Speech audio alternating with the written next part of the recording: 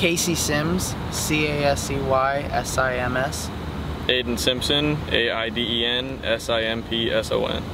And if you could tell us where we are, where you were when the incident happened, and what the incident was. Uh, so we are in Vista, California at the Vista Skate Park right now. And um, we were at my dad's shop, Vista Muffler, just around the corner.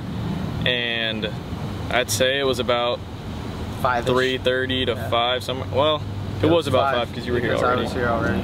So it was about five o'clock, and um, we heard a couple fireworks go off. Nothing like crazy, and then we heard a really big one go off, and um, there was nothing going on. Like we were like, okay, it's normal. It's been happening all week, and we're like, all right, well maybe they'll stop soon. And then one last really big one went off, and we heard a kid scream, and somebody said, "His hand, his hand," and um, as soon as somebody yelled call 911 we saw two cars Two take off Cars take off. yeah they took off around the corner um, and then about five minutes later we heard some more car or uh, some more fireworks Down get the launched street off little bit, where they were heading.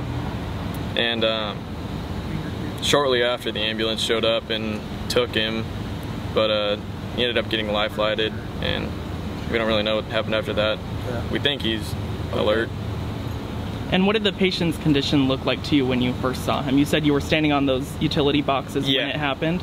yeah What did he look like to you? He looked, at first, I think he panicked because he didn't really know what went on. All he saw was, I mean, I can't really speak for him because we were pretty far away. Um, but it looked like he was went into panicking. shock. And because he did Yeah. kind of panic a little bit, and he took his shirt off and wrapped his shirt around his hand, and so we couldn't really see after that what happened. And then he took off running into the skate park, so we couldn't really see after that what happened.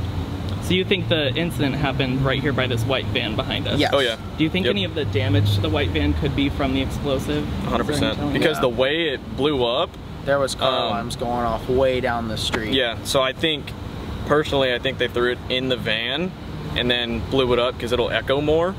Um, That's my personal opinion. I mean, it was a really big firework, so. Yeah.